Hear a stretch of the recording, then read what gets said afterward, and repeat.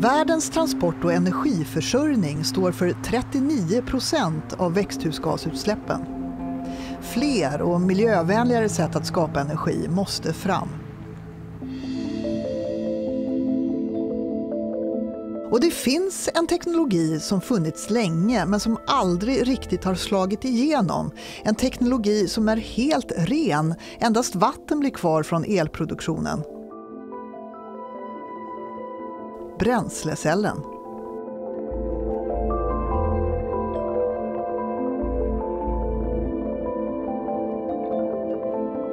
En bränslecell det är en elektrokemisk ehm, cell som utnyttjar en kemisk potential och genom att eh, utnyttja en reaktion som sker vid elektroderna så skapar vi elektricitet. Och ehm, cellen i sig är miljövänlig och också väldigt tyst så den är bra för vår arbetsmiljö och levnadsmiljö. Eh, I en bränslecell har man en anod, ett membran eller elektrolyt som det också kallas och en katod.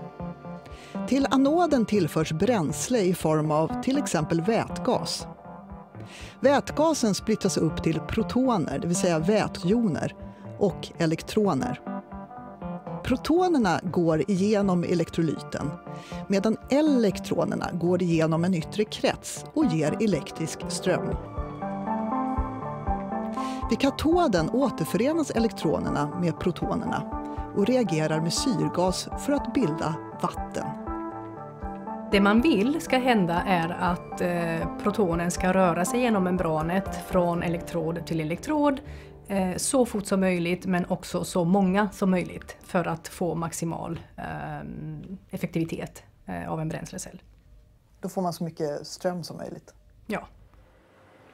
En stor anledning till att dagens bränsleceller inte slagit igenom är att de är för kostsamma att tillverka. Idag används ofta nafion, en polymer, som elektrolyt. Men nafion är dyrt och torkar ut lätt. Så målet för Anna Martinelli och hennes forskare är att hitta ett billigare alternativ. Vår idé är att eh, hitta nya material som funkar också bra i en bränslecell men som är alternativa till polymerelektrolyter. Och här har vi en eh, idé om att utnyttja nanoporös silika och jonvätskor som elektrolyt.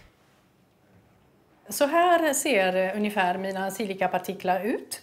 Man kan tänka sig att det gröna är eh, silika, eller kiseldioxid. Alla de här små hålen ska representera nanoporerna. Och det är i dem som jonvätskan ska vara, befinna sig och röra sig i. Eh, det enda du får tänka dig är att de är mycket, mycket, mycket, mycket mindre än vad vi ser här. Jonvätskan ska alltså hjälpa protonerna att ta sig snabbt igenom elektrolyten, även vid temperaturer högre än 100 grader. Men man vill också få silikan att ordna sina porer rakare så att protonerna har kortare väg att gå. Det är precis det som Silvia jobbar med, försöka skapa en ordnad porös silikafilm. Och här försöker vi använda oss av så kallade superfunktionella jonvätskor där jonvätskan bidrar med sina joner och protoner men också ordnar silikan så att den växer så här.